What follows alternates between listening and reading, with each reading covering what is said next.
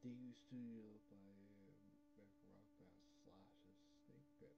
Now, somebody who says slash Snake Pit, this is, you know, kind of odd.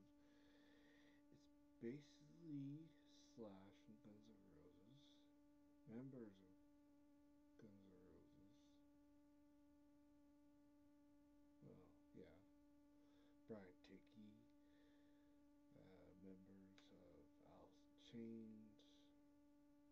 Basically, like a big old